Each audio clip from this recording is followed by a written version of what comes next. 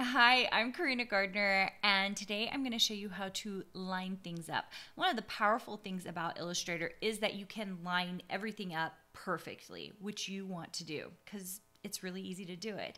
But before I get started on that, I wanted to remind you that there is a design boot camp coming up. And if you haven't joined, you are missing out.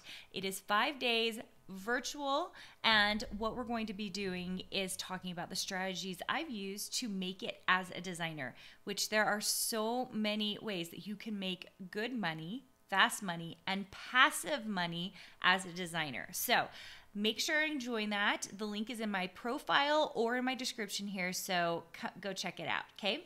All right, let's talk about lining things up. So we need a couple of things to line up, right? So I'm going to come over to my rectangle tool and create a large uh, just rectangle. And then actually, let's grab the star tool. I'm gonna grab and make a star that's a little bit funky and crazy. And let's come over and create an ellip ellipse tool. So a circle, essentially, or an oval. I didn't hold down my shift key for any of that. So everything is going to be disproportionate and that is okay. All right.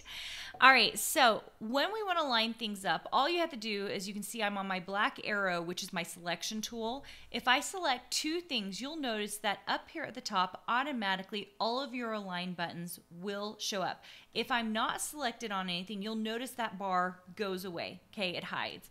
The other thing you can do is go to your window align and you can see that there is a window dedicated to it. Okay because this is how important aligning things in Illustrator is, okay?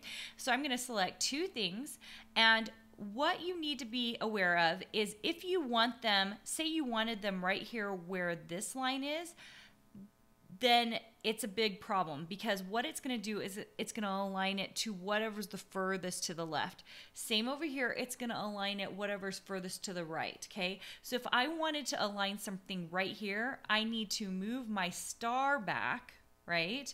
Grab both of them and then align it to the left. And you can use this window or you can use this top uh, piece right here. Same deal right here with this circle. If I select the rectangle and the circle, if I align it top, it's going to align with the uppermost uh, thing. And if I align it bottom, it's going to align to the bottommost thing. Same with right and left, okay? So just be aware of that. You, of course, also have center alignment. So I'm gonna align this to the top so you can see how that works. Let's talk now about distribution. So if I select all three of these things, suddenly I have the ability to distribute them evenly. Now this is much better when you've got like three circles or three squares. I've got three funky shapes right here, so it's gonna look a little weird, but I want you to be able to know how to use this. If I select all of this and I want to distribute it up and down, then it's going to, well, I'll just do it and you'll see you can see that now it's distributed it all evenly out. Now it's not all lined up, right? It's just distributed up and down. Same if I distribute it vertically.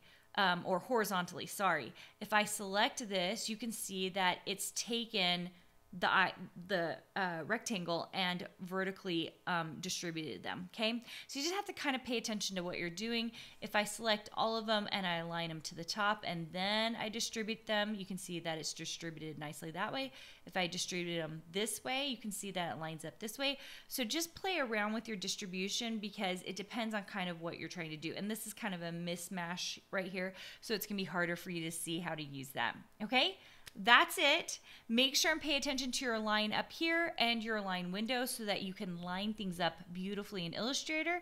I hope to see you in Design Bootcamp because it is a awesome, awesome experience for only $17. So um, I hope to see you there and I will see you soon.